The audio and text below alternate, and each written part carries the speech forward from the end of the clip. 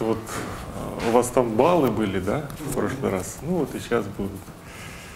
Вот. Будет, наверное, так, что э, 40 баллов будет за задания и семинары. Вот. э, Их Михаил Геннадьевич сам поделит с вами как надо. Вот. А 30 баллов будет коллоквиум в середине. Там будет три вопроса, соответственно. Вот. Ну и 30 баллов будет в конце экзамен. Тоже будет три вопроса. Вот. Значит, э,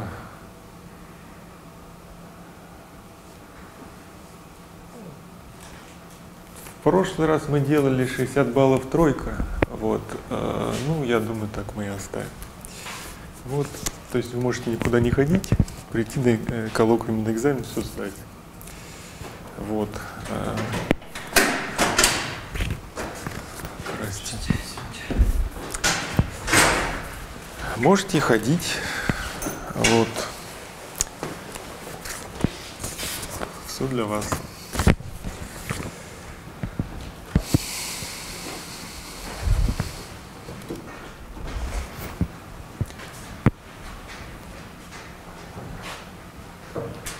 Но сегодня такая математическая лекция будет. Вспомним теорию групп.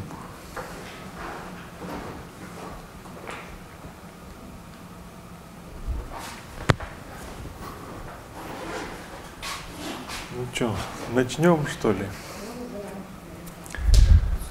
Хорошо. Значит, а, предмет наш теория сильных взаимодействий. Вот, э, начнем мы его с воспоминания о теории групп. Еще я должен сказать, я забыл одну вещь, я уеду на следующей неделе. Соответственно, у вас будет сейчас вот лекция, потом семинар. Э, И на следующей неделе будет два семинара, а через неделю, соответственно, две лекции. Вот, когда я приеду. Вот, сейчас я расскажу про группу СУ3, группу СУН. Вот, и на семинаре вы э, изучите кварковую модель, расклассифицируете адроны по этим группам, э, по представлениям э, группы СУ3, СУ2. Вот, когда я приеду, мы пойдем дальше уже изучать КХД. Итак, э, то, что нам будет нужно. Группа СУН. Группа СУН. Значит, первое, что, значит, это Нябелева группа, да?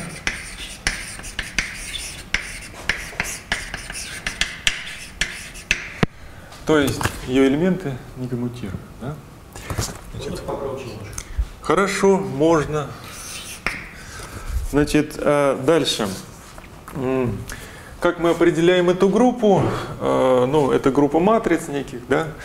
Э, Собственно, определяющее представление или фундаментальное представление – это, собственно, вот эти вот матрицы n на n, да? То есть U – некая матрица.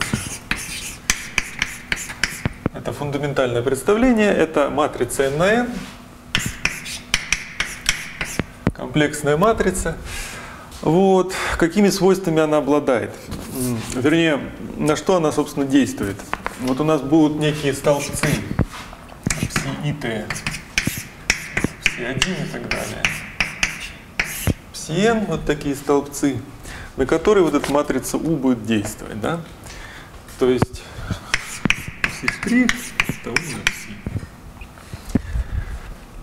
Соответственно, а, у нас n а, спиноров, то, что называется. Вот это контравариантные спиноры, у них индекс сверху. Вот. Здравствуйте. Это контравариантные спиноры, у них индекс сверху. А, Дальше. а, Представление, которое на них действует, фундаментальное представление. А, Мы можем взять и сделать эрмитово сопряжение от этого выражения. У нас получится что? Я не знаю. Си крест, штрих это си штрих крест, крест. Вот эти матрицы у крест, которые действуют на сопряженные, эрмитово сопряженные спиноры, это у нас, э, соответственно, антифундаментальное представление. Так? Там справа что излишнее. С какого права? Штрих лишний, да. Вот. Это значит у нас а, фундаментальное представление.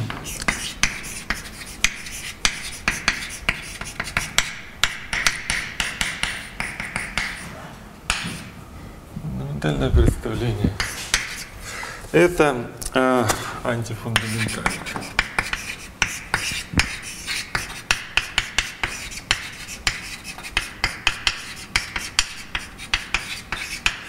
Хорошо. Идем дальше. А, вот это у нас столбец, соответственно, вот это у нас строка. И а, у них а, мы будем писать нижний индекс. Соответственно, вот тут вот можно сказать, что пси-штрих ит это у ит житое на пси житое, да? То вот здесь, если я это назову как-нибудь там, пардон, фи равно фи на у крест, у меня будет фи житая штрих, это фи катая на у. Ну вот тут мне нужно что сделать? Ну, у крест, если я просто так буду писать, соответственно, катая житая. Да. Хорошо. Что мы можем делать дальше? Дальше мы можем а, строить тензоры, какие-нибудь пси E1 и К, G1 и GP с большим количеством индексов верхних и нижних, которые будут преобразовываться ну, этими матрицами, как обычно. Штрих это пси ДК.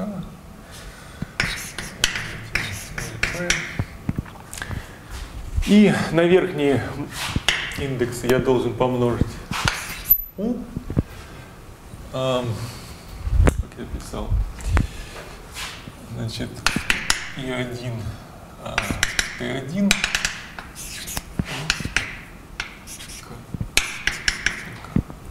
Знаете, я должен помножить это.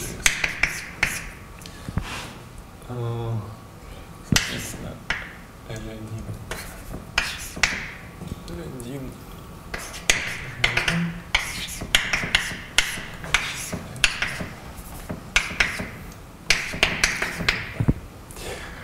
Тензоры. Дальше. Четвертое. Что значит буква S и буква U. Значит, что значит буква U? Унитарная матрица. Это означает,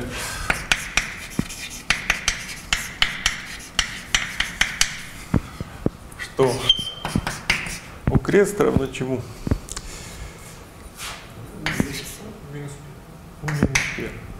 Правильно. Замечательно. Соответственно, если я представлю ее в экспоненциальном виде, в степени тета где-то некая матрица, да, то у крест это будет e в степени минус и тета, ну, звездой вообще говоря, да. Вот. И если я хочу, чтобы у меня у крест было равно у минус первой, я отсюда сделаю вывод, что у меня тета действительно а это действительно. Ну, не, не это действительно, а это крест равно это эрмика. Это крест равно тета. крест. То есть тета это эрмитовая матрица, да? То есть генератор эрмитовый. Хорошо. Дальше.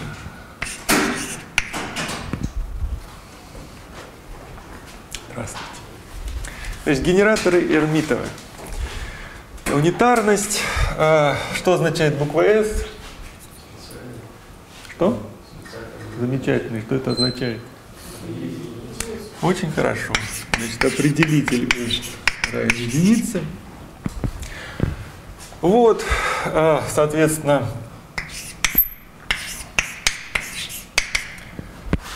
э, Вот эта формула у вас была на ММФ, да? Вот мы активно воспользуемся. Соответственно, у нас получится а, e в степени трейс и тета. Вот, и это у нас равно единице. А отсюда у нас следует, что тета бесследовно. Вот. То есть у нас э, генераторы нашей группы, они эрмитовые бесследовно. Так, очень хорошо.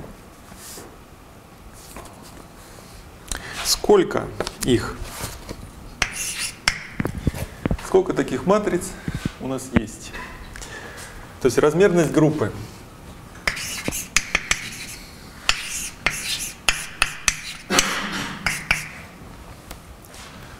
Чему равна? Она равна n квадрат минус 1. А как это понять? Вот ровно отсюда. Значит, э, тета у нас матрица n на n, да? Соответственно, вот она такая матрица. Причем она эрмитова. Соответственно, на диагонали стоят действительные числа. Их n. Вот, а то, что сверху от диагонали, то, что снизу от диагонали связано вот этими уравнениями, поэтому считать нужно только с одной стороны. И тут у нас сколько их? Их мест всего n квадрат минус n, это мы убрали диагональ, поделили пополам, это мы взяли только то, что сверху, да, помножить на 2, это мы учли, что эти числа комплексны. Да? Вот. Получилось n квадрат. После чего мы вспомним, что у нас есть вот это условие, определитель равен нулю, ну или тут, да? Поэтому получим минус 1. Вот. Хорошо. А, это размерность. Идем дальше. Инвариантный тензор.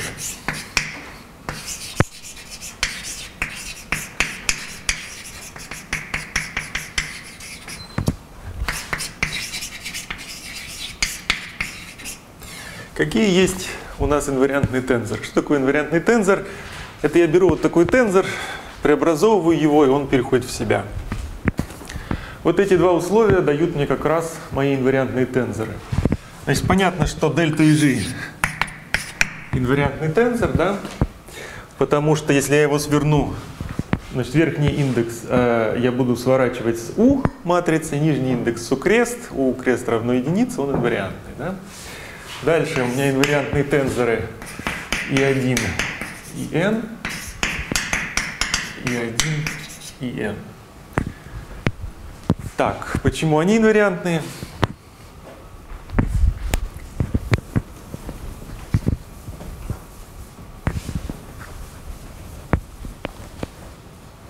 Никто не знает. Правильно, определитель. Соответственно, если я напишу вот такую вот вещь, эпсилон, э, и 1 и так далее, и n на u, э, там, значит, k1 и 1 u и n kn, это у меня будет что? Это у меня будет эпсилон k1 kn на определителю. Определителю равен единице, поэтому, соответственно, это инвариантный тензор. Вот. Очень хорошо. Идем дальше.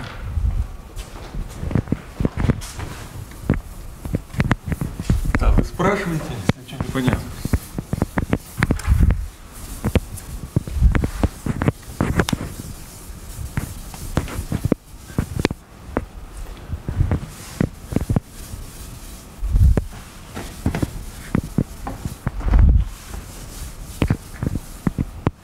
Так.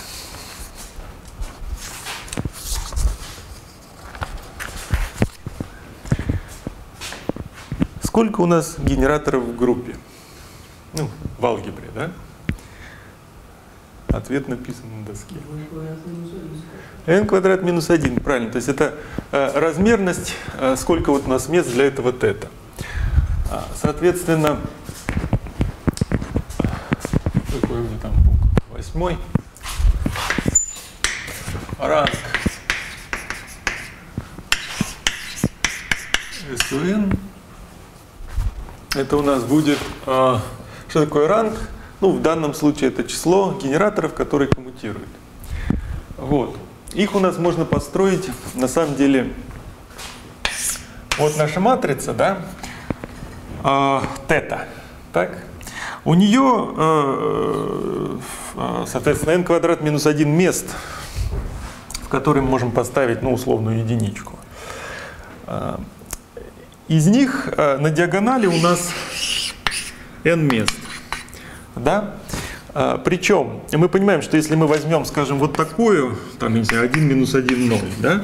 это будет некий генератор, он будет бесследовый как надо, вот, а, и он будет коммутировать там, ну вот 0, 0, да? вот с таким 0, 0, 1 минус 1. Будут коммутировать они, да? Вот, соответственно, ранг группы это число э, коммутирующих генераторов, максимальное число в нашем случае. И оно у нас равно n минус 1. Вот. То есть у нас n свободных мест на диагонали, но у нас есть одно условие, что след должен быть равен нулю. Поэтому не все они независимы. Вот. Хорошо. Есть теорема Рака, которая говорит, что ранг группы равен числу операторов Казимира. Соответственно, у нас два оператора Казимира.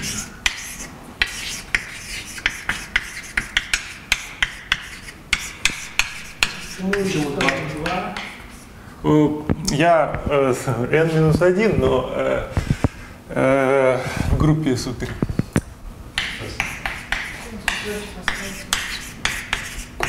В СУ3 2, в СУ2, соответственно, 1.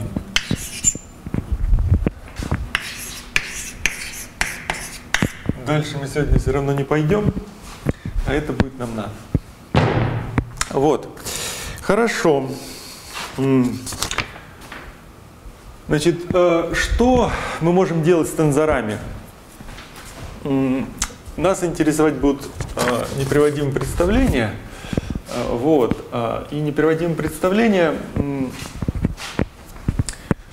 для того, чтобы их строить, э, мы вот эти вот тензоры э, можем всячески упрощать.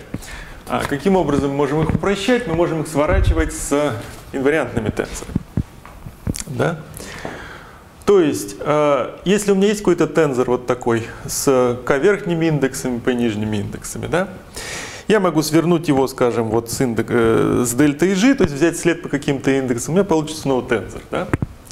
Замечательно. Я могу также свернуть его э, по любым индексам э, с эпсилон сверху, ну или с эпсилон снизу. У меня будет новый тензор. Соответственно, э, какой тензор э,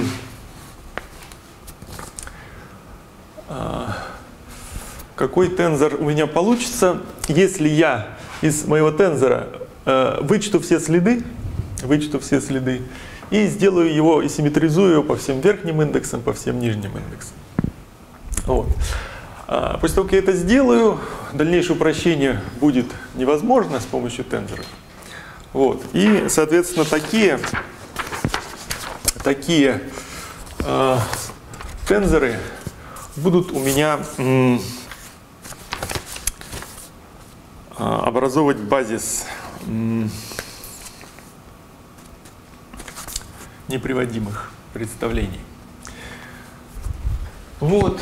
Обязательно. Что? Симметризовать обязательно. Симметризовать обязательно, потому что э, если э, у вас есть антисимметричная часть, то вы его свернете с эпсилон, и у вас получится новый тензор. То есть, например, э, вот у вас есть тензор двумя индексами верхними, да? Э, вы можете сказать, что это ежи плюс пси ежи, то, что называется, где это полусумма полуразность, да? Вот. А вот это уже будет неприводимая полусумма, симметричная часть. Антисимметричная часть э, Си и G. На самом деле вы можете сказать, что это некая, а, что она пропорциональна эпсилон и G. Она антисимметрична по построению. Вот. То есть это может быть что-нибудь типа там эпсилон и ЖК на ВК. Да? Вот.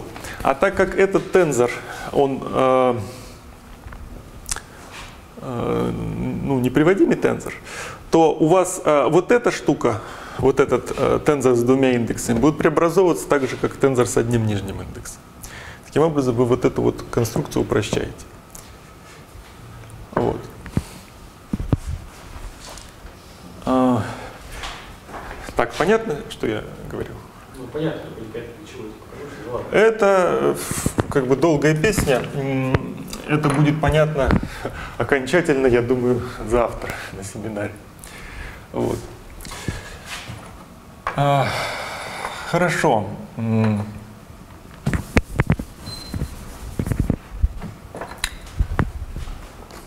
Хорошо. Э, Идем дальше. Алгебра.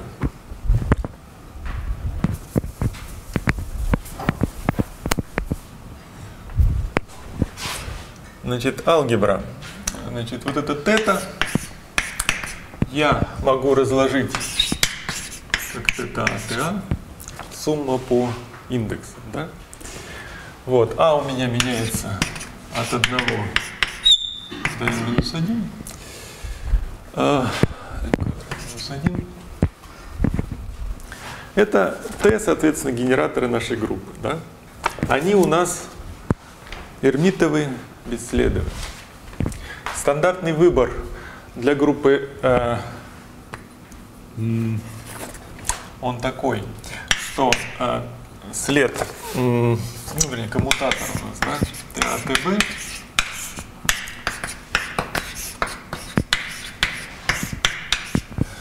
и ФАБЦ, ТЦ, где это структурные константы, э, они, э, их всегда можно выбрать абсолютно антисимметричными по перестановкам всех индексов.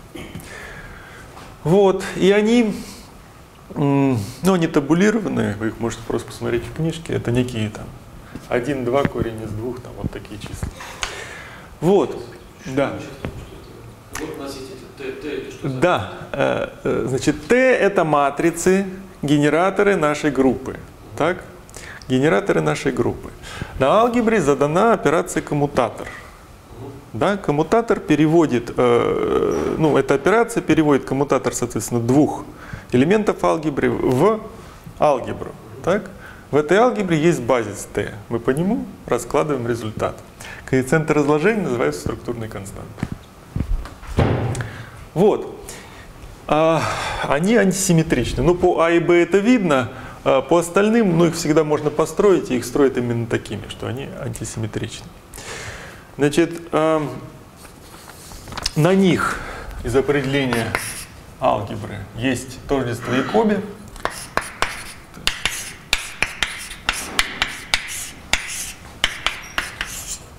То есть циклическая перестановка равна нулю.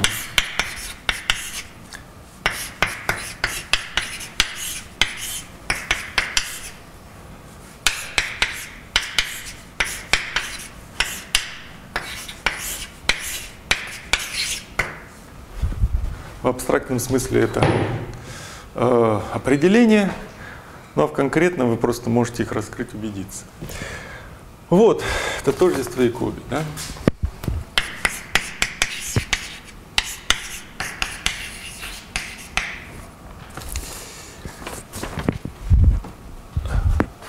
Нормировка.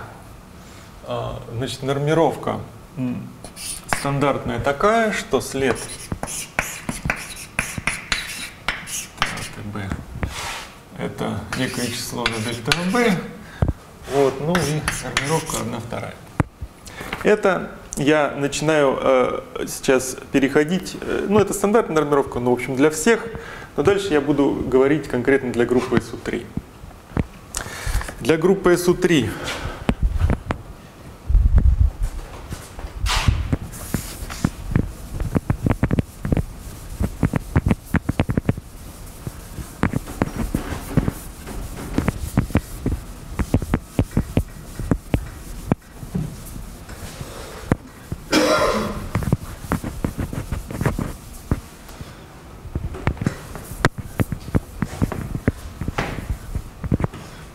группа СУ3. Эти матрицы, сколько их матриц Т в группе СУ3?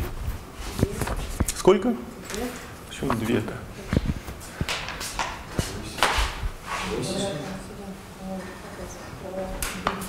Восемь. Значит, Т, ну, 1, 2, 3, я вот так напишу, это вот такие матрицы. Ну, сигма матрицы обычные, да? 1, 2, 3. Тут единичка, тут нули. Вот, а, соответственно, Т 4. Так, одна вторая. Т4. Это матрица номер 1. Т5.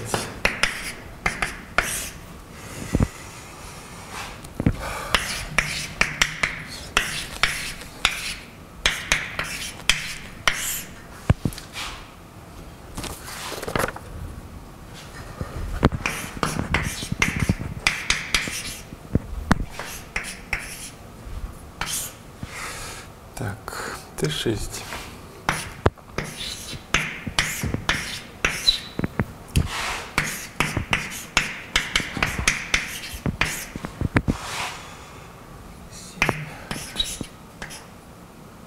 Сигма, да.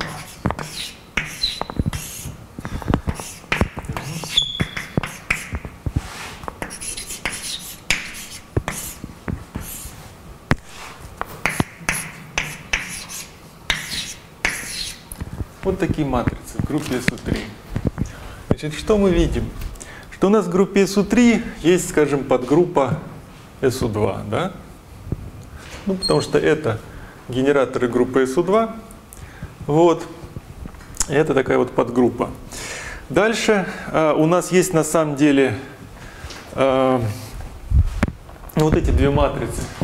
Они наводят на мысль, что ну, значит, если мы построим группу SU2 на э, значит, элементах 1 и 3, то у нас будут такие генераторы, ну или на элементах 2 и 3. Да? Вот. А вот эта э, матрица, она новая, в том смысле, что ну, она не сводится э, к сигма-матрицам. Она, видно, да, что ее след равен нулю. Вот. И вот тут у нас на самом деле есть матрица сигма-3, которая 1 минус 1. Да? А, вот. И она тоже диагональная. И вот это две диагональные матрицы, которые там будут коммутировать. Вот о них я тут говорю. А, хорошо. Значит, идем дальше. В фундаментальном представлении для генераторов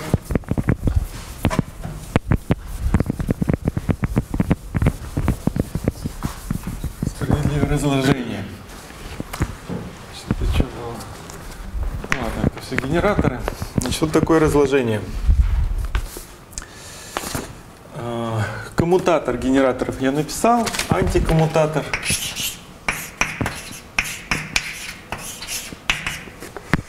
Это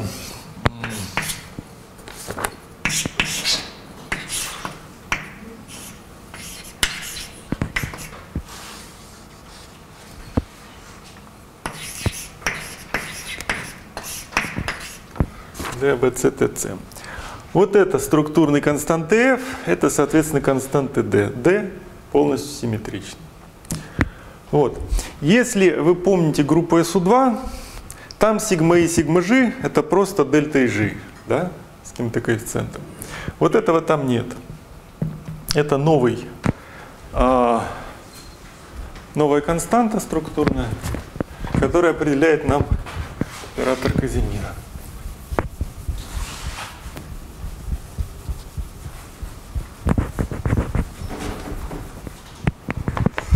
Значит, операторы Казимира.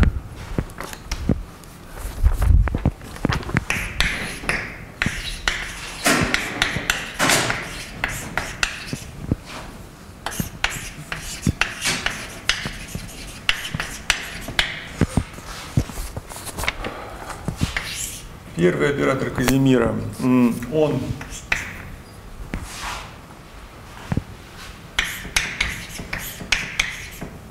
ТА-ТА, да, такой же, как в группе СУ2, С2. Значит, второй оператор Казимира, С3, это ДВЦ.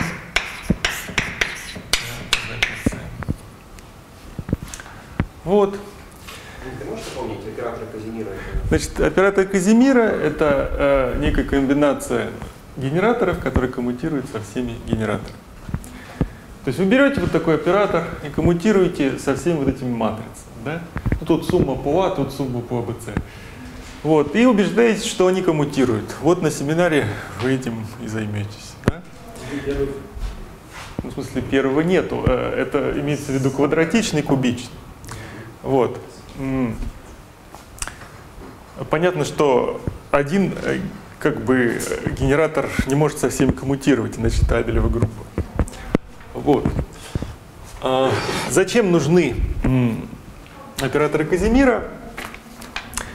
Значит, если матрица э, коммутирует со всеми матрицами непроводимого представления, она пропорционально единичной. Помните такую теорему? Это означает, что на неприводимых представлениях операторы Казимира имеют определенное значение. То есть это единичная матрица на число. Вот.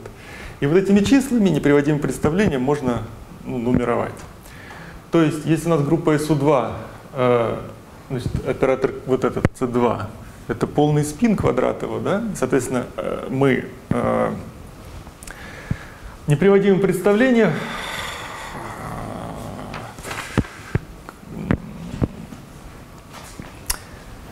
э, неприводимое представление имеет у, у- нас ра- разные значения полного спина. Да? Вот. А а здесь у нас два оператора Казимира, соответственно, неприводимые представления в группе SU3 будут характеризоваться двумя числами. Вот. Будут характеризоваться двумя числами. То есть в группе SU2 это одно число, полный момент, в группе SU3 это два числа. Их э, можно выбирать по-разному, но, э, соответственно,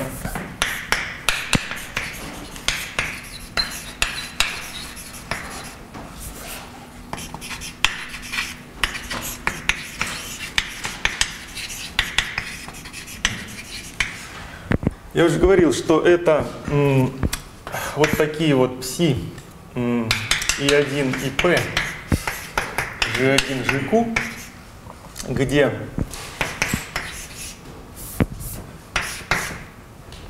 вот эти индексы все полностью симметричны. То есть я могу написать, э, я их обозначил так. И1 и P G1 GQ. То есть это полностью симметризованный тензор, да? И И1 и P И1 G2 GQ равен нулю. То есть любые свертки равны нулю. Вот, то есть дальше встает вопрос, а каковы размерность неприводимых представлений? Нам нужно э, просто сосчитать число тензоров, которые может быть, обладающих вот такими свойствами. Это некая задача на положение разноцветных шариков в коробочке, комбинаторная. Вот, вы ее решите на семинаре. Я вам напишу ответ, что размерность, размерность неприводимых представлений с двумя индексами P и Q, соответственно, да?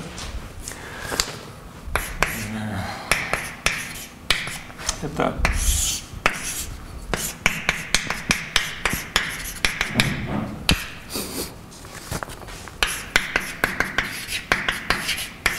вот такая размерность. Если для группы SU2 у нас были возможны все размерности, да, ну, то есть момент может, мог быть каким угодно, то здесь у нас размерности не все есть. Вот, скажем, D01 это что? Ну или D10. Что? Ну что? Замечательно, тройка. А, значит, и тут тройка. Вот а, что такое тройка? Это нетрудно видеть, что это вот, собственно, фундаментальное представление. Я его уже стер, ну, то есть это спинор, состоящий из трех компонент, да? Фундаментальное представление, вот оно, э, значит, обозначает 3, а если у нас, э, то есть это вот такие пси и т, да? Их всего 3. Эти, соответственно, э, пси житы, их тоже 3, ну, оно антифундаментальное. Что? Это для СУ3, да. Значит, для СУ3. Еще раз, а пси как они выглядят или это? Пси, ну это столбец пси1, пси2, пси3. Красный, желтый, зеленый будет, если э, мы говорим о цветовой группе. Вот. То есть представление просто столбец из трех чисел. Нет, ну это, это базис представления. А, а матрицы, на него которые действуют, Не, это понимаю, представления. Ну, базис, вот, да, поясный тензор, на который они действуют. То есть размерность, э, я размерности считаю, размерность в этом смысле матрицы, она однозначно определяется по размерности тензора, на который он действует. Вот, то есть э, это, э, значит, фундаментальное, это антифундаментальное представление. Дальше. D1,1 сколько?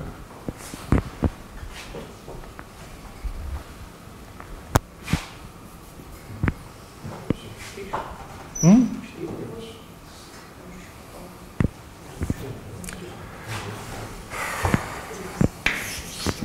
Восемь.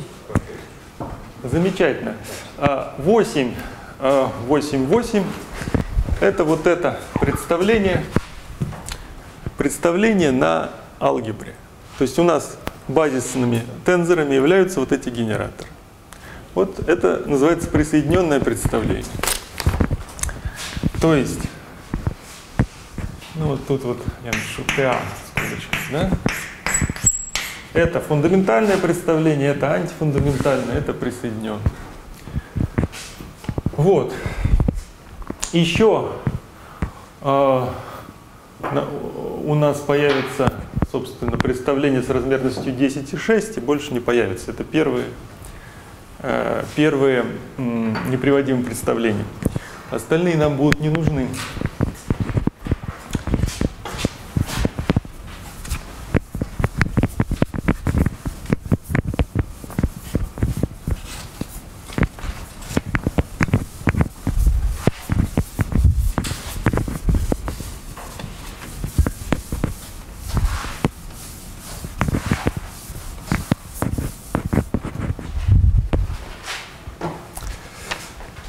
Так.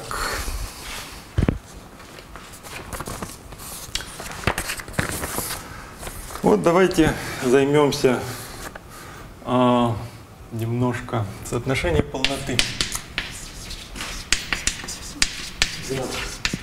12 чудесно.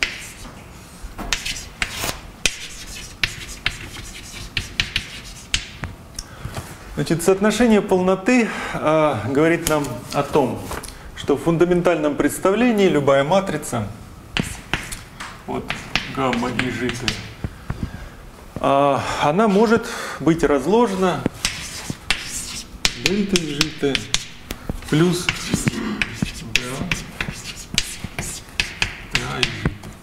по генераторам единичной матрицы. Да? Вот. Любая такая матрица, в данном случае 3 на 3. Вот. А, Если мы возьмем матрицу гамма вида дельта ЖК дельта э, и L, скажем, то есть что это за матрица? Это матрица, у которой на k там L там месте стоит единичка, остальные все нули, да? Вот. То э, и- в смысле? снизу везде жили, да? Не наоборот. Так, ну давайте вот здесь, так. да. Тогда я вот здесь поменяю. Так, да? Хорошо. Значит, вот здесь у нас на катом L там месте стоит единичка, все остальные нули. Как мы ее будем раскладывать? Если мы возьмем след от обеих частей, то есть, что такое след? Это мы помножим на дельта э, GI. ЖИ, то вот здесь у нас будет с одной стороны дельта КЛК, с другой стороны, вот эти все матрицы бесследовые, да, у нас получится А на, э, ну, на N, вообще говоря, да? Вот, ну или на 3, если группа СУ3. Если мы помножим на T D GI, вот это выражение возьмем след, у нас получится с этой стороны, значит, э, что?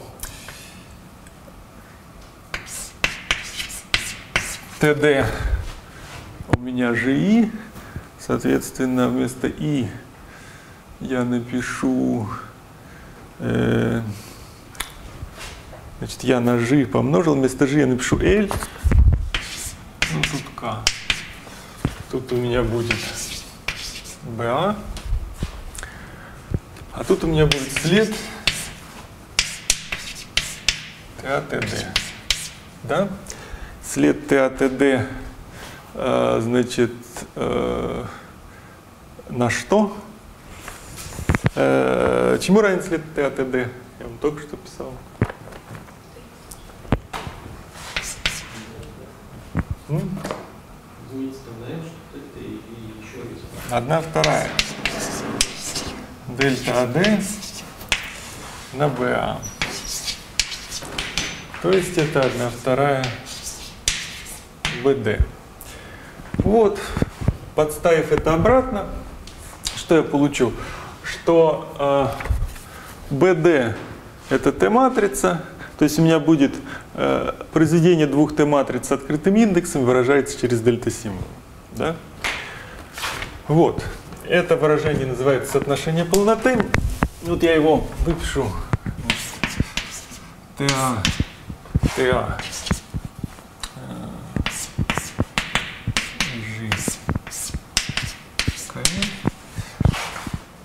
Это, а, значит, м,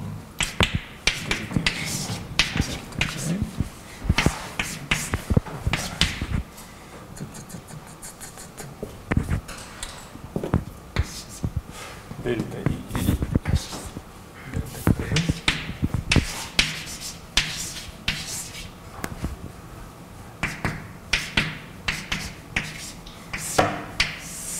Вот такое. Соотношение полноты. Это, собственно, основное равенство, которое позволяет упрощать все э, выражения, в которых содержится генератор. Хорошо. Помощью него, если мы будем считать операторы Казимира для, скажем, фундаментального представления, то мы получим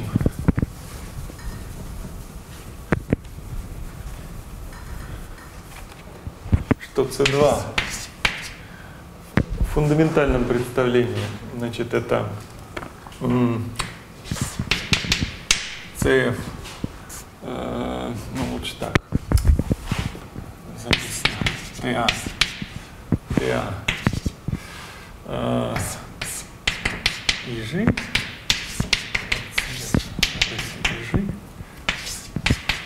CF, один на два.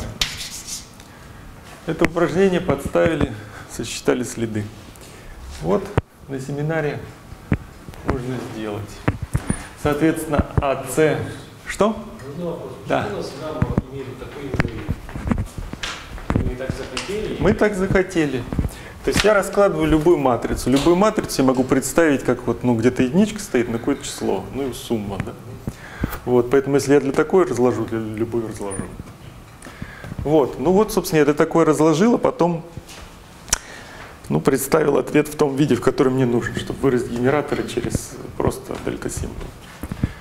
Вот, это тождество Фирца, если хотите, для матриц Т. Помните тождество Фирца? Вот. Ну, тождество Фирца, они там две гамма-матрицы выражаются через что-то еще, да. Ну вот, две матрицы, гамма, если хотите, с открытыми индексами, они выражаются через другие матрицы с открытым индексом. Вот. Хорошо. Э, Значит, ну а оператор C3, он там не так важен нам для начала, но в конце может понадобиться. Я ответ напишу. Фундаментальный. Значит, это вот такая вещь.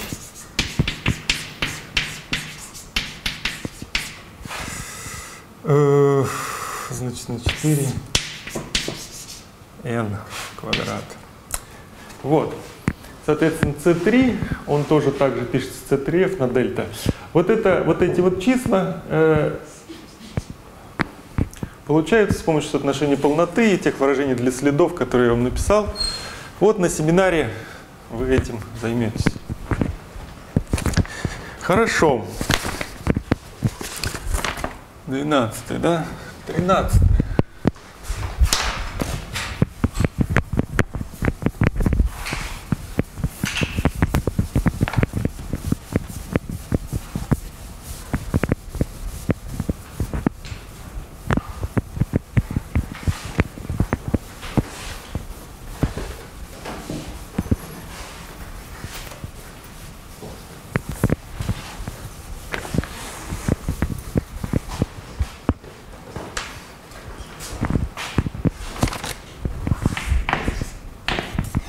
Тринадцатое. Присоединенное представление.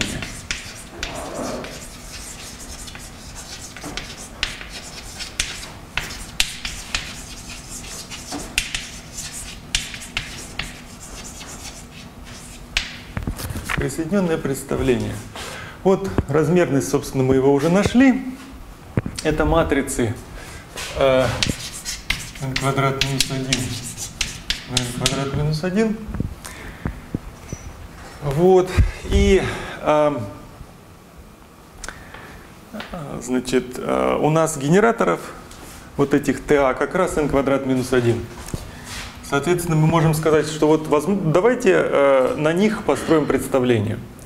То есть будем рассматривать такие вещи. Вот некая э, матрица F, э, которая равна FA TA, где TA это э, наши генераторы фундаментальном представлении. То есть, с одной стороны, это на самом деле матрица, да, ежи. Вот.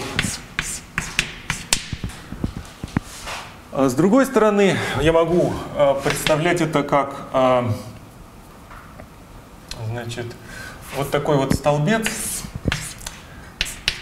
f1, f квадрат минус 1, где э, это у меня в базисе TA. Да? То есть матрицы, которые действуют при соединенном представлении, это матрицы вот э, в этом пространстве, 8 на 8 для SO3. Они действуют вот на такие столбцы. Вот. Но, так как мы знаем, как наши матрицы действуют на э, индексы и ежи, да, мы знаем, э, то тогда мы можем отсюда вывести, как наши э, элемент, э, ну, какие будут матрицы э, вот в этом пространстве, как они будут действовать на вот такие столбцы. Вот, действуют они как? Значит, действовать мы будем так. То есть э, мы должны подействовать на генераторы, а это будут при них коэффициенты. Вот, если мы э, на генераторы действуем, а, вот я так напишу, напишу УБАТБ.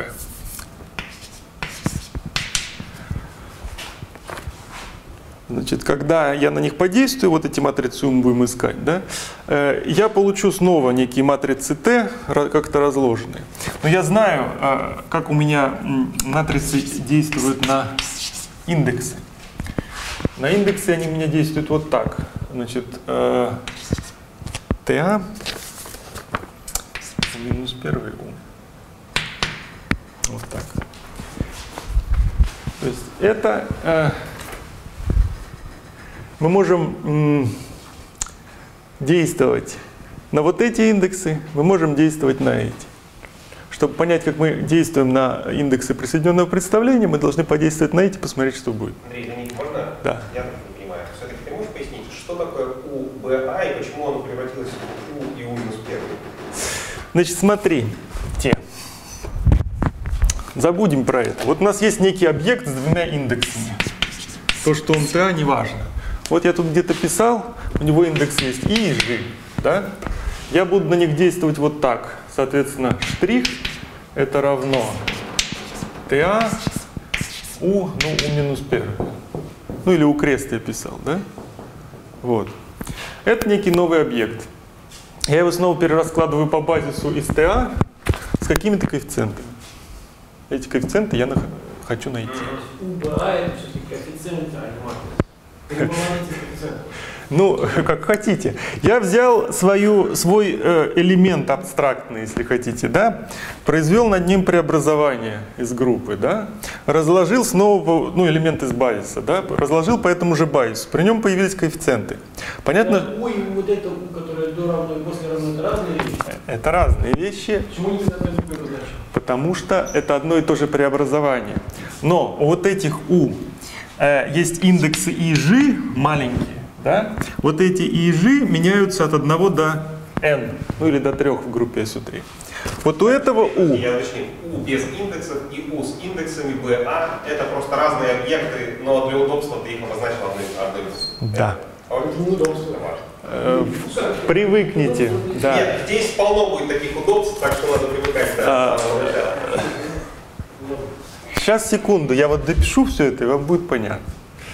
Значит, э, еще раз. Я взял э, элемент базиса, да, базисный вектор, матрицу в данном случае, э, преобразовал ее с помощью моего преобразования из группы. У нее два индекса и G, так?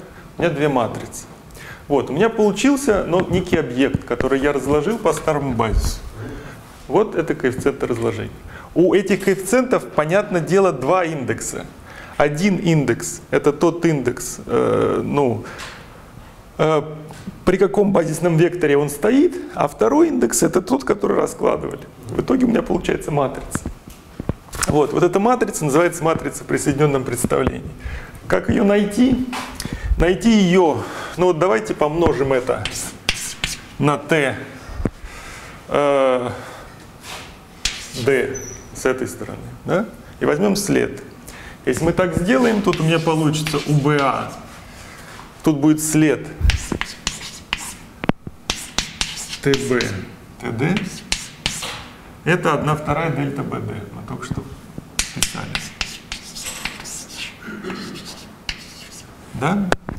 Здесь у меня будет след УТА у минус 1 ТД.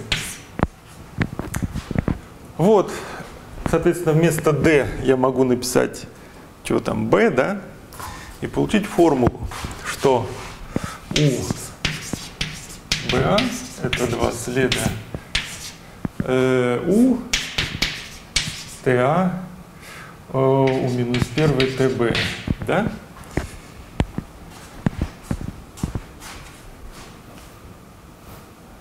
Да, вот такая формула.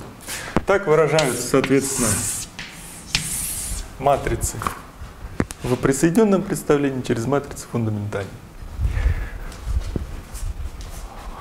Очень хорошо. А, это матрицы, да? Это матрицы У, то есть элементы группы. А, эти матрицы, соответственно, мы тоже можем представить как УБА. Это Е в степени И, это С. ТЦ, вот я пишу большие буквы, это генераторы в присоединенном представлении. Вот, это все матрица с индексами БА. Да? Вот э, как э, значит, э, понять, что это за матрица Т.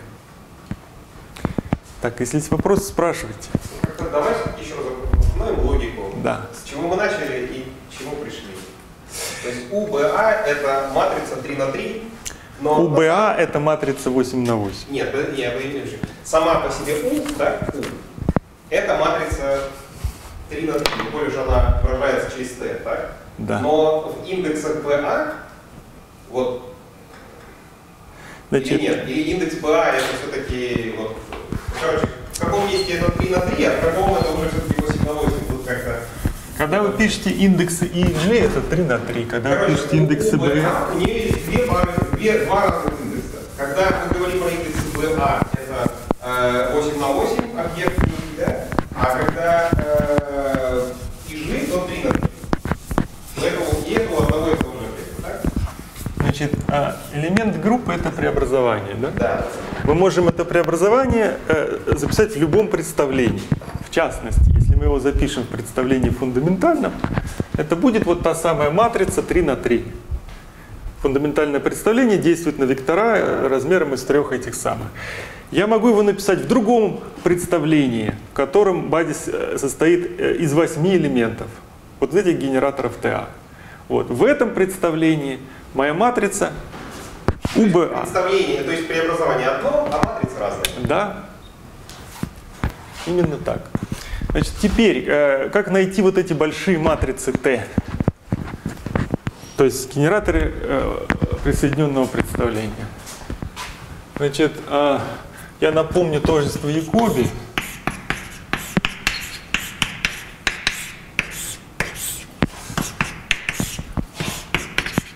ТБ.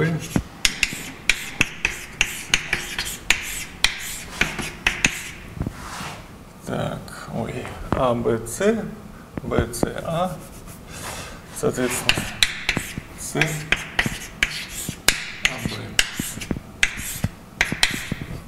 Это равно нулю.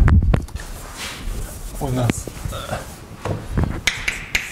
равно нулю. Также я напомню, что у нас ТАТБ это ИФ, АБЦ, ТЦ по определению структурных констант. И что я вижу? Я вижу, что ТБТЦ, если я заменю через F, да, это будет F, BC, D, TD. Так?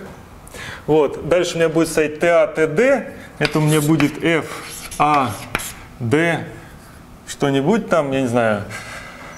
Э, ну, ESC будет путаться, э, я не знаю, G. Да? Вот. Здесь у меня, ну и будет 2i там стоять, да, я их все сокращу, но мне везде будет стоять.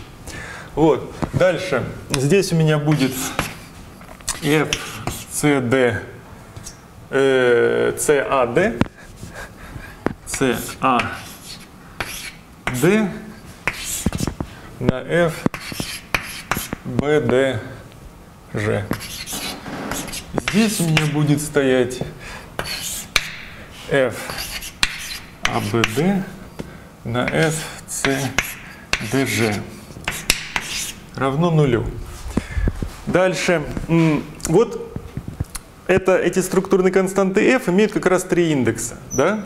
Они имеют, собственно, индекс, э, мы их можем рассматривать как матрицы.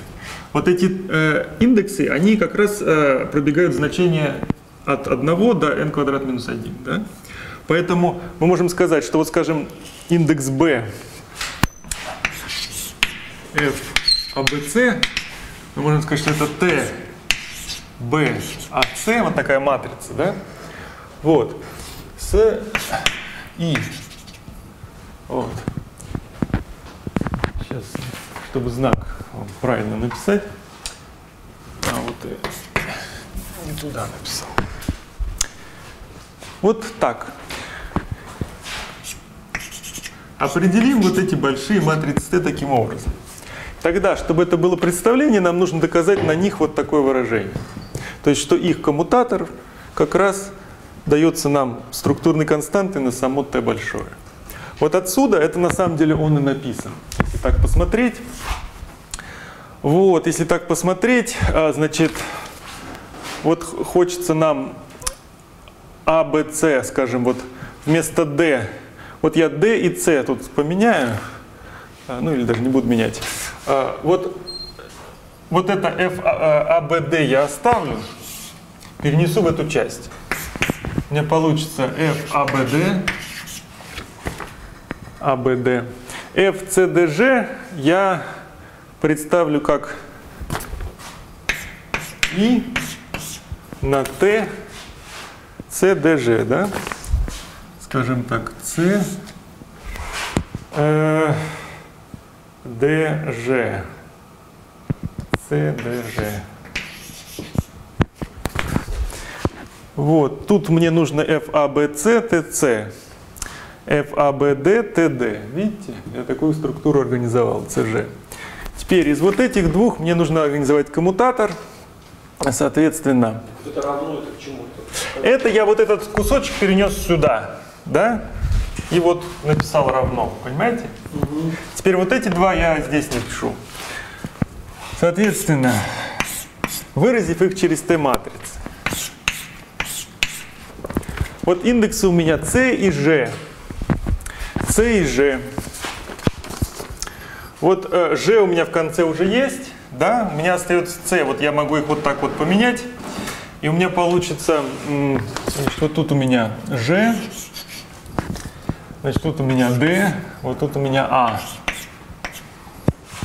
А, так, нехорошо. Я их поменяю. Вот тут вот наставлю А, вот тут вот подставлю D. Вот. А тут у меня B, C, D. Я B и C поменяю. У меня получится C, B, D. Вот. Хорошо. Вот. Плюс, э, значит, у меня э, F, это я минус и дважды должен сюда помножить. Это у меня будет один знак минус. А, значит, это у меня будет знак минус. И тут я дважды менял индекс. Вопрос такой. Да. В левой части три индекса сверху, в правой части два индекса снизу. Это мы просто... Это не важно. Это я, ну, здесь э, эти индексы, ну, неважно, куда писать, я их пишу для удобства, как хочу. Вот здесь я те же самые манипуляции проделаю, у меня получится, э, соответственно, что? Вот G у меня последний индекс, значит, э, B у меня средний индекс, D у меня первый индекс.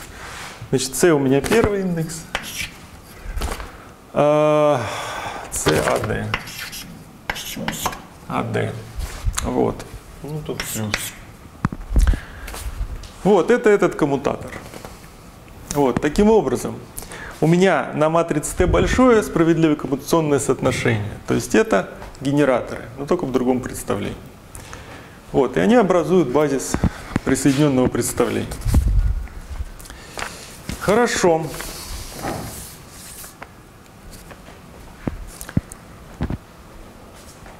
Так, у нас осталось 20 минут, да? Хорошо. Вопросы?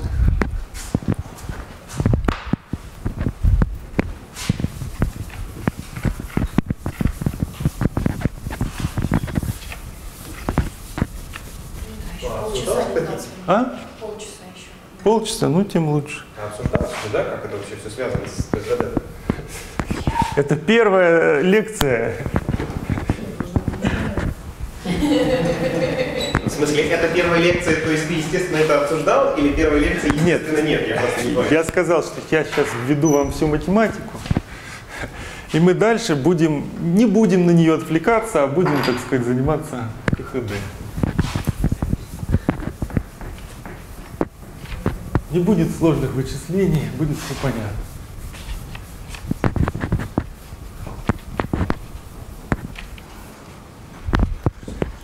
Так.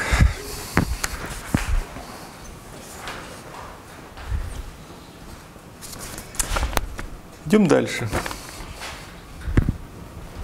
13, 14.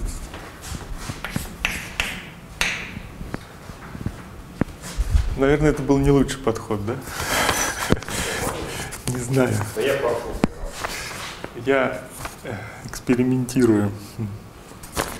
Значит, группа, да, SO3. Что такое группа SO3? Это некое, с точки зрения геометрии, многообразие. Мне на нем интегрировать надо будет. Вот. А, то есть, что такое группа, скажем, э, Значит, начнем так. Компактное многообразие. Что? Непонятно? Сейчас будет понятно.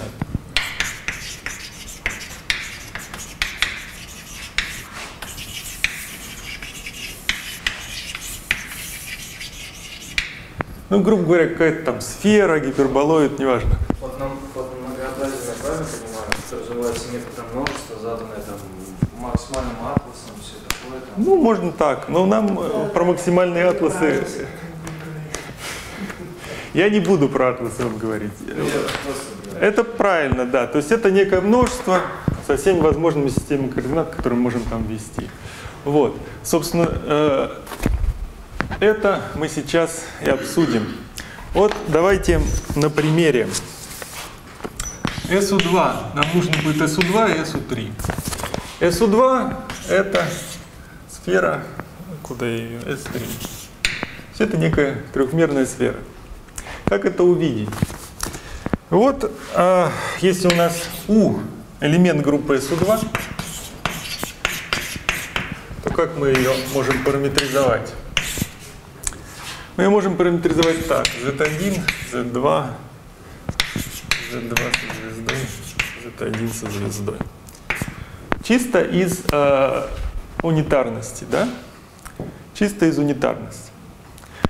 Вот, то есть мне нужно, чтобы у крест равнялось у минус первой, соответственно, у меня будут забиты, если я один вектор э, определяю как z1, z2 некие числа, то второй вектор у меня строится из ортогональности. Вот. И мне хочется, м, стандартное у нас как было, М,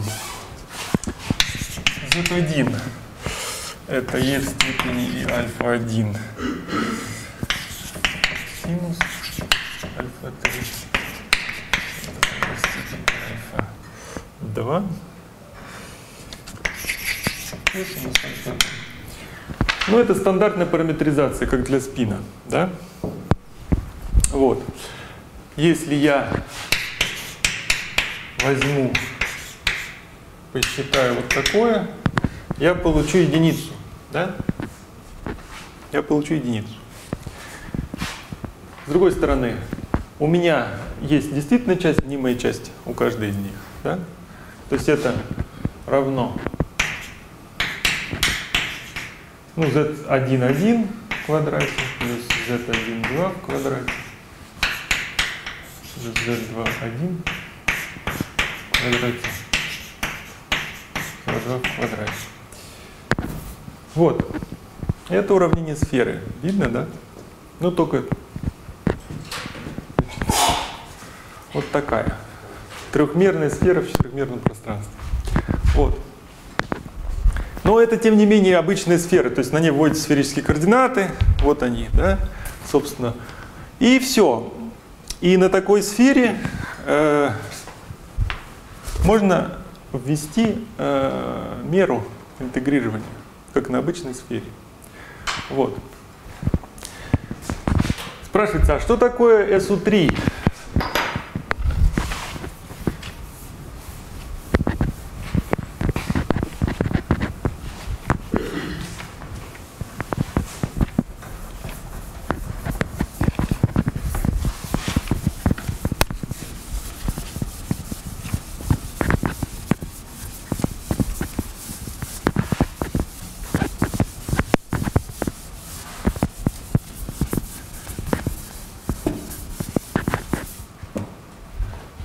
3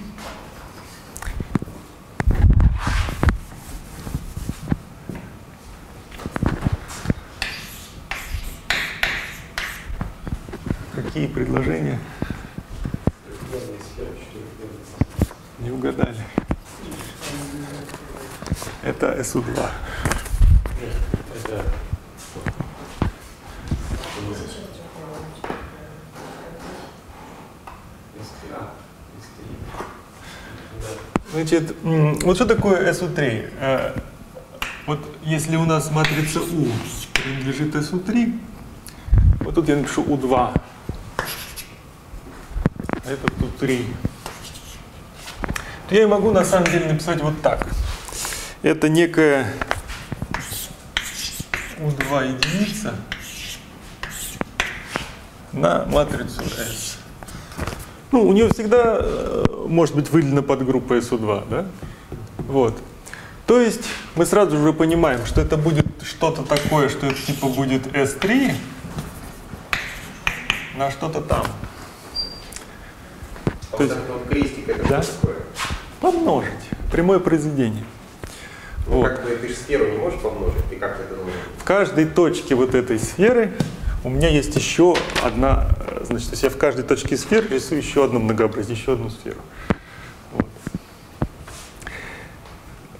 Это, э, значит, ну, ответ вот такой. Вот. Вот, собственно, по аналогии абсолютно. Из пять, да, да, да. Это типа пятимерная схема, да? Типа да. Вот. И оно э, не односвязано, что важно. Да? И оно что? Не односвязано. То есть не стягивает как там. Ну да, да, да, да. То есть у вас две матрицы. Вот. э, Значит, хорошо. Э, Как это увидеть? Ну? Ну, два единицы. Когда вот три через два выражаем. А, Значит, ну я просто беру под группу, так? Ну я мог взять здесь ее, вот, мне не важно. Я просто выбрал такие координаты, в которых она у меня сверху оказалась, все. Вот. А если это просто число какое-то? S это матрица, почему? Да-да-да. S строится так же. То есть это Z1, м, как я писал, Z2, Z3, опять некий вектор по норме единицы. Точно так же. Вот. И его удобно выбирать именно это другие, Z уже, да? Z1, Z2, Z3. Значит, их, э, его удобно выбирать тоже так же, чтобы по модулю было равно единице. Но это должно автоматически следовать из укрест на У равно единице. Вот. Вот. И как э, у нас есть сферические координаты, мы можем из них выбрать. Значит, я напишу, э, есть степень альфа 4, синус альфа 5, степени альфа 6, косинус альфа 5, косинус.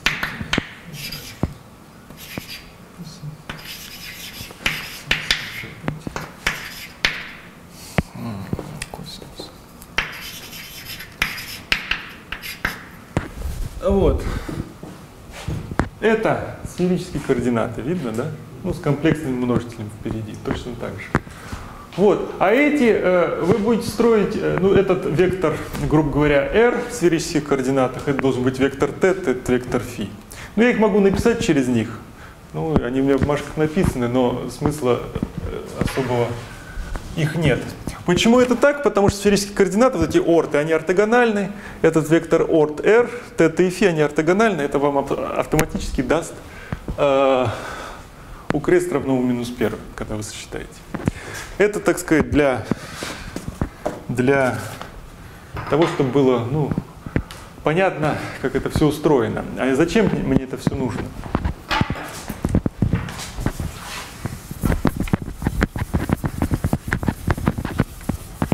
Мне по этой группе надо будет интегрировать. То есть, если вы помните электродинамику, то там есть калибровочная свобода. То есть там группа У1, да, помните такое? Вот. И на самом деле физическими являются... То есть у вас есть калибровочная свобода, вы можете менять калибровку, а физически э, результаты не будут меняться. И различные наблюдаемые, ну вот это мы пройдем, наверное, в следующий раз, их можно выражать как интегралы по группе. Это то, что вот ККД на решетке делает. Вот. И, а, соответственно, а, таким образом мы суммируем все возможные там, а, значит, калибровочные конфигурации. Вот, поэтому мне нужно уметь интегрировать по группе. То есть что такое интеграл по группе? Это интеграл по вот этой вот сфере. Вот, ни больше, ни меньше. Ничего такого. Вот. То есть как в обычной сфере вы сферический координат интегрировать умеете, так же и здесь надо. Вот. Так, и где же это у нас? Значит, что это? 15.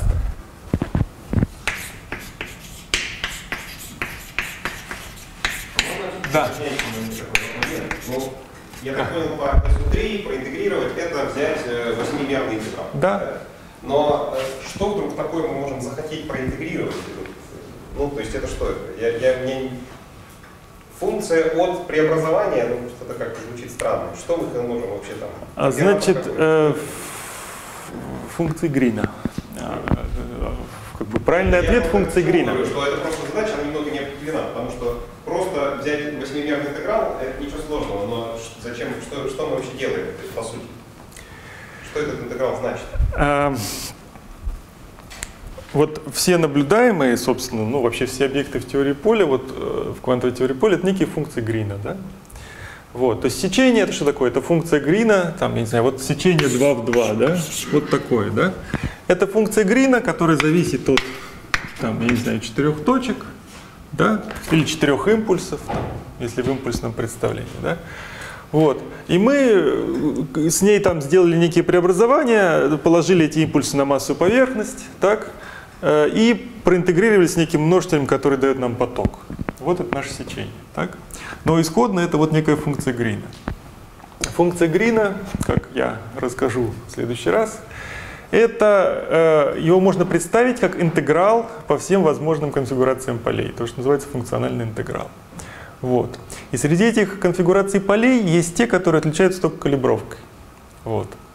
То есть э, они э, как бы вот поля, которые будут бегать по вот этой группе, э, ну в электродинамике U1, а тут SU3, да, они не, не будут меняться.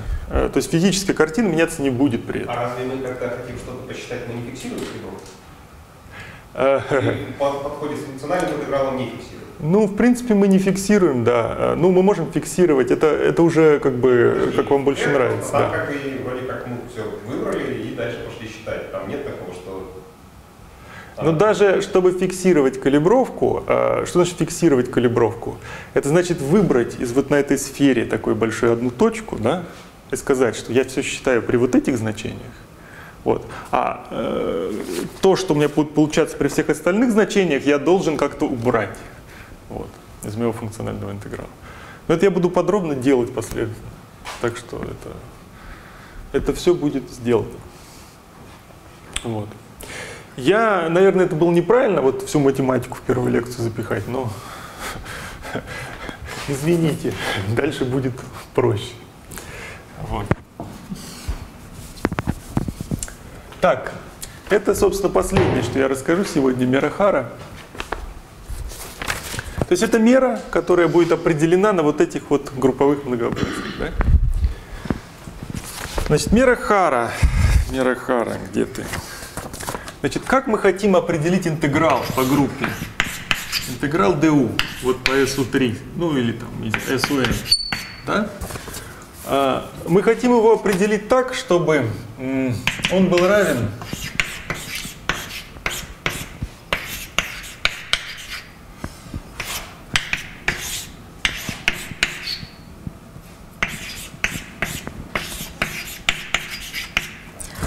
Что я имею в виду? То есть я беру любую матрицу V из моей группы, да, и помножаю ее, результат не меняется. Смысл этого определения такой, что я хочу определить интеграл, который у меня обладает свойствами к обычным интегралам. То есть у меня вот есть интеграл по прямой dx, он у меня равен интегралу dx плюс. Я переменную сдвину, ничего не изменяется. Вот. Здесь у меня групповое помножение на элементы из той же группы. Вот. Это первое свойство. Ну и второе свойство нормировка. Значит, ну мы его можем как-то нормировать. Вот, собственно, и все, что нам от него нужно. Вот это вот это некая запись некой меры интегрирования на интеграл по всем параметрам. Вот там у меня альфа написано, то есть это d альфа 1, d альфа 2, d альфа там n, ну и на некую меру. Вот, собственно, мера, которая тут стоит, это и есть мера Хара, которая обладает этим свойством. Вот.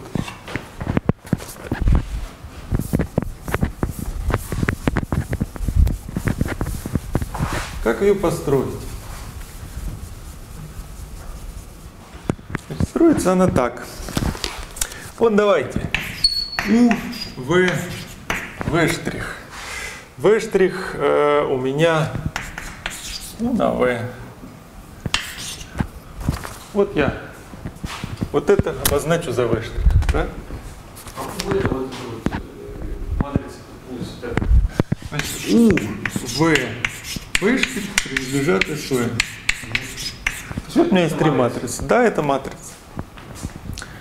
То есть то, что вот тут вот интеграл по матрице, э, это некий, некое такое вот обозначение, которое, я еще раз говорю, означает, что это интеграл вот в SU3, восьмимерный интеграл с какой-то мерой. Да? Вот. Итак, вот если у нас есть три матрицы, УВ и В штрих, которые У на В, все они из SU3, то можно вот такой вот построить элитой, называется левый инвариантный тензор, чтобы это v минус первый, dv по d альфа и т. Вот альфа и т это вот эти параметры. То есть v у меня v от альфа т. Соответственно, v штрих от альфа т штрих. Да? То есть я матрицу параметризую вот этим параметром. Вот такой вот элиты я построю. Значит, чем, что для него хорошо? Для него хорошо следующее. Что если я v вот так вот сделаю,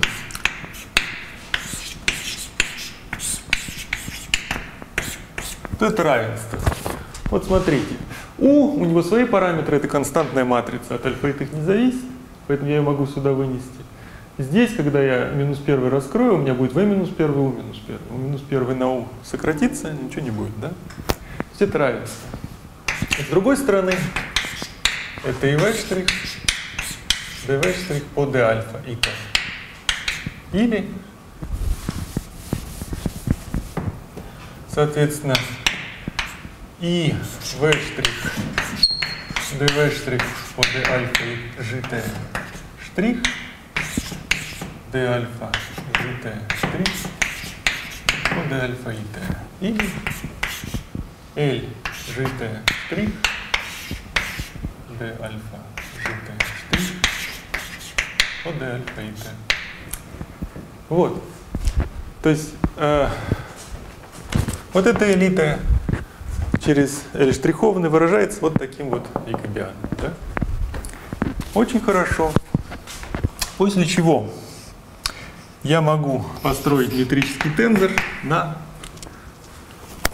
значит, моих, ну, на моей вот этой вот, на этом многообразии, который строится так. Два следа, ну, два это некая условность. Элита, эльжита. Вот, если я подставлю, у меня получится, пардон, вот, э, Тут у меня получится, соответственно, ну, минус 2, v минус 1, dv по d альфа и t, v минус 1, dv по d альфа t. Ну, я могу вспомнить, что у меня группа унитарна, что, значит, v минус 1 на v это единица, производная 0. Соответственно, v минус 1 dv это э, v э, это dv минус 1 на v, да? Ну, это мне упростит жизнь. У меня получится два следа.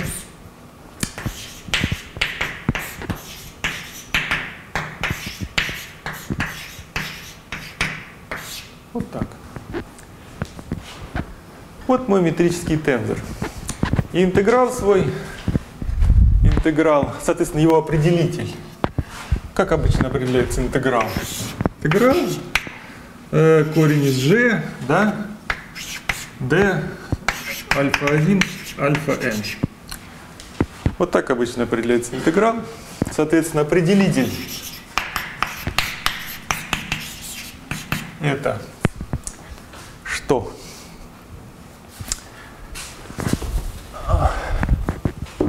Вернее, лучше определитель мы сейчас найдем. Вот g штрих. G штрих. А, КЛ. Это что? Это я э, Значит, э, ну вот этих должен посмотреть, да?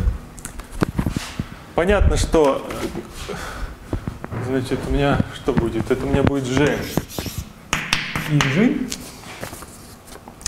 Значит, G и G э, на D альфа и по D альфа штрих К, D альфа G по D альфа штрих альфа. Ну, если я определитель напишу, будет G штрих это G, D альфа по D альфа штрих в квадрате. Вот. Соответственно,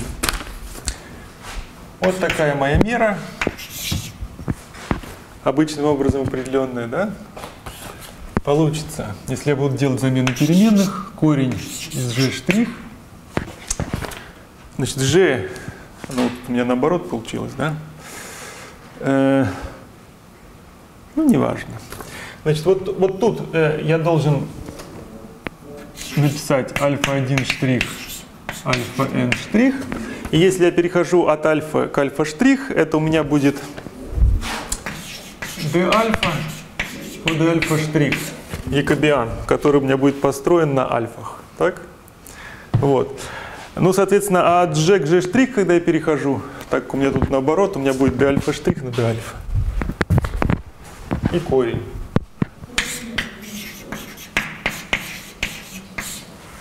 Они сократятся.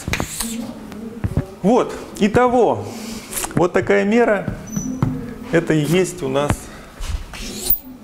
значит, ДУ. Понятно, как ее строить? Ну, если я правильно понял, ты, Да. ты это как бы просто запостулировал. То есть мы это не доказывали, просто сказал, вот, отлично, она работает. Ну, в смысле, э, я хочу меру, для которой ду равно дув. Так? Вот я говорю, вот я построю вот такой интеграл. Альфа это параметры у. Так? У. Вот. Делаю замену. э, Значит, ну то есть фактически помножаю у на v.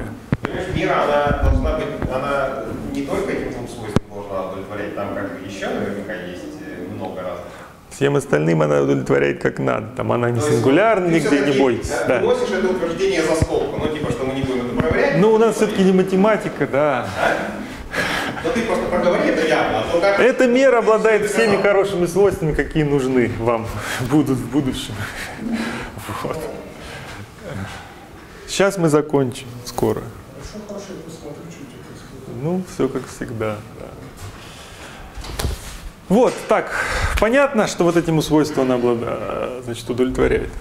Это я вот с этой стороны Мы специально сделали так, чтобы мы строим, да, мы строим меру, которая им удовлетворяет. И это причем мы сделали вот что вот помножение на у с этой стороны, да. Мне ничего не стоит, вот, ну, он называться будет правый инвариантный тензор, с другой стороны это помножить. Можно еще раз Да. пройти просто саму идею, что мы сделали, чтобы понять. Есть три матрицы, Значит, мы говорим, да, и вот давайте построим э, на матрице из У, который, ну, тут, тут э, на матрице из нашей группы некий объект, да? И из этого объекта соорудим метрический тензор, так, который там будет. Да? А дальше по метрическому тензору мы знаем, как нам строить меру интегрирования. Да? Хорошо, теперь мы говорим, давайте посмотрим, что этот объект, э, как он выражается через э, такой же объект, но построенный на элементе из группы, который, на, э, который есть u на v, то есть не на нашем v, а на произвольное u помноженное на наше v. Вот. И мы увидим, что будет с этим метрическим тензором. Меняться он будет вот так. Да? Вот. Причем он меняется, как выяснилось, точно так же, ну то есть обратным образом к тому, как меняются сами координаты. Вот. Поэтому, когда мы корень из g на эти координаты помножим, у нас получится, что сама мера у нас не изменилась. Вот поэтому корень G это это наша мера, да. И G выглядит вот так, как G выглядит вот так, да. Ну, в смысле, вот. G это прям настоящий метрический тензор, он прям нам всю геометрию вот в этом многообразии стоит. Ну, да-да-да. Нам больше ничего не надо. Э, Тут можно много чего там рассказывать и показывать. Например, можно взять на правых построить, потом доказать, что они равны там, и так далее. Вот кто-нибудь мне на зачете Видишь, сделать. интересно все-таки не то, что свойство, а то, что у тебя есть какой-то кусочек э, твоей, твоей, твоего многообразия, да? Да. Ты должен каким-то образом определить объем этого кусочка. Вот ты взял и постулативно это Я постулативно это сделал. Что я не сделал, я не сделал вот это, да? Ну тут я всегда могу отмасштабировать это просто числом, да, чтобы у меня был единиц. Вот. У меня там в записях написано, э, как для группы SU2 и SU3 вот этот корень из G просто выглядит в Яфе. Это некие синусы там, углов альфа. Вот. Хорошо. Э, что дальше? Нам нужны будут вот эти интегралы.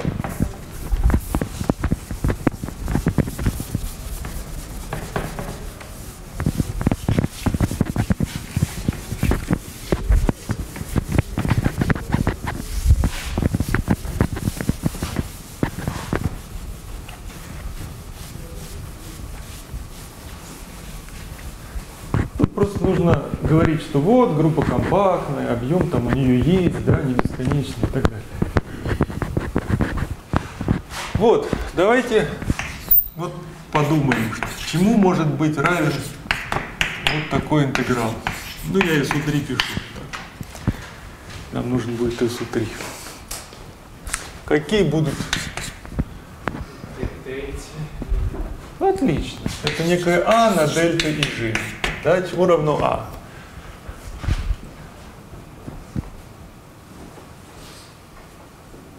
Вот, используя только то, что там написано. Вот давайте на какое-нибудь произвольное v, там, я не знаю, и k помножим, обе части. Что у нас получится? Тут у нас получится интеграл du u на v, так, э, соответственно, kg, да? А тут у нас будет а на дельта k, ну не на дельта, а на v, kg, да? После чего я вот этим свойством попользуюсь, вот тут v просто руками напишу, да? И у меня получится, что это тот же самый интеграл. Ну, понятно, что вот это этому не равно, да? Поэтому а равно нулю. Вот.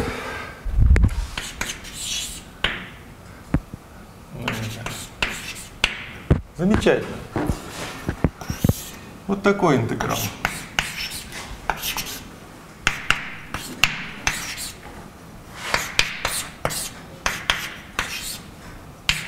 Чему равен?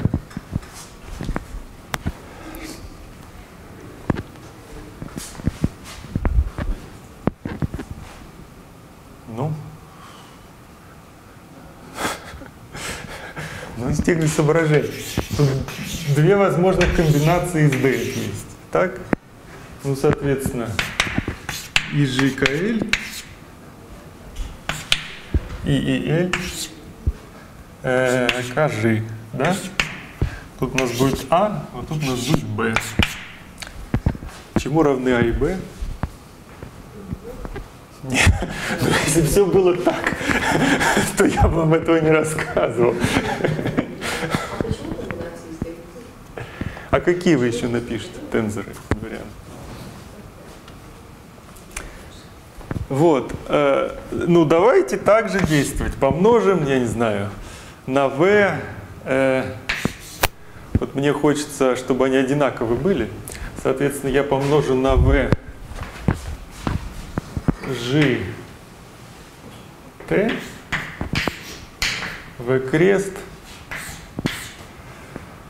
Э, Значит, э, К, М, вот так, например. Что я получу?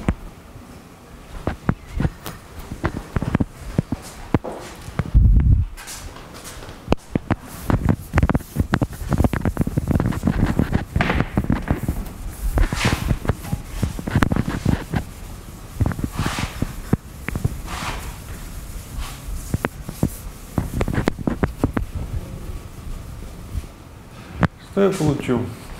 Я получу интеграл du. Вот тут у меня у, uv будет УВ. И Т. Ну, вот тут я хочу УВ. УВ крест. А, значит, я хочу УВ крест. Вот у меня получится У крест КЛ. УВ крест МК. Это, соответственно, У крест. Э, так, так, так, так. Э, сейчас, секунду. Это В крест У крест, это УВ крест. Это я правильно написал. Вот. Хорошо. А с этой стороны что будет? Будет А. Вот тут у меня дельта и G. Значит, у меня будет В и Т. В и Т. Дельта КЛ, это у меня будет В крест, МЛ. Ну, понятно, что вот этого уже не будет. Значит, плюс B. А вот тут у меня дельта и L. Дельта и L, оно как было, так и осталось. Э, Дельта и L. А вот дельта КЖ, оно у меня вот эти перемножило. Видите, да? К и Ж. А это у меня обратные матрицы, поэтому у меня получится дельта МТ.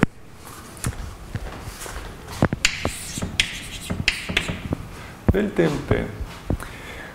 Вот. Значит, а тут чего? Тут чего? Значит, тут КЛ было, и я, э, значит, МЛ тут. МЛ, да? Ну и опять, я пользуюсь вот сюда, я могу написать В. Это у меня будет тот же интеграл. Поэтому вот этого у меня не будет, а равно нулю. То есть мой интеграл равен вот этим дельта-символам с каким-то коэффициентом. Как найти этот коэффициент? То есть интеграл du ниже крест. Kl равен некой b на дельта g, дельта l, ух, дельта l, дельта kg. Вот. Чтобы найти, я могу свернуть с дельта, э, скажем, LI, да? Тогда вот здесь дельта LI, это у меня будет единица. Вот, а здесь у меня будет n, видите? Поэтому b равно единице на n. Вот так, собственно, на самом деле это единственный интеграл, который мне всерьез нужен. Все остальные так. Вот. Вот это основной интеграл, который будет использоваться в ХХД на решетке. Все. Э, вопросы. Понятно, что более сложные вещи считаются не так, а ну там надо уже что-то писать, считать. Но это считается просто. Вот.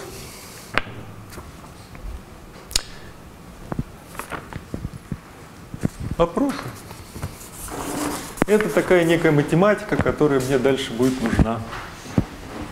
В следующий раз строим Лагранжан и находим функции Грина.